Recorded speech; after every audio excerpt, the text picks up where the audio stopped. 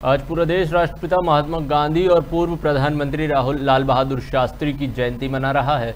इस मौके पर हर कोई महात्मा गांधी के अमूल्य योगदान को याद कर रहा है। साथ ही पूरा देश महात्मा गांधी को नमन कर रहा है। राष्ट्रपति द्रौपदी मुर्मू, उपराष्ट्रपति जगदीप धनखड़, पीएम मोदी सहित अन्य राजनेताओं ने राजघाट पहुंचकर महात्मा गांधी को श्रद्धांजलि दी।